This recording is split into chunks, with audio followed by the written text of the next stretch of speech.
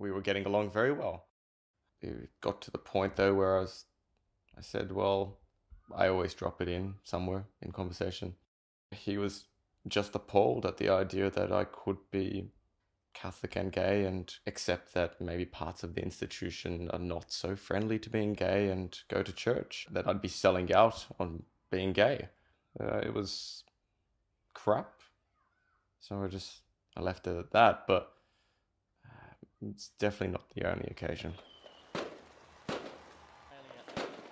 we go to the Mardi Gras and we have our float every year just to show people that you can be Catholic and you can you can have faith and you can also be a gay person. The ridicule, my goodness, um, even from the other floats in the parade, they, they, they think it's a you know. Every year for the last ten years, I have helped set up the float, and even in the holding area when you're putting it all together, you know, other people walk past. Oh, the Catholic. Oh, and they laugh. Of course, some of them get a photo, and some of them say, "Oh yeah," and, you know, put their thumb up. But I I dare say, even a good sixty percent, more than half, just thinks it's it's it's crazy.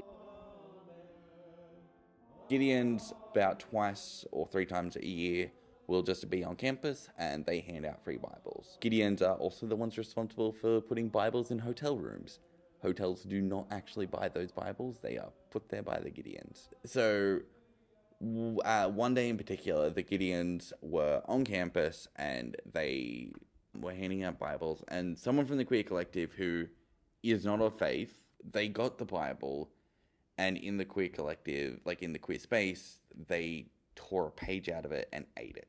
Kind of as a, like, I don't like being they don't don't like being approached and being preached to about a religion that they don't follow, which fair, but also really confronting to some people in the collective.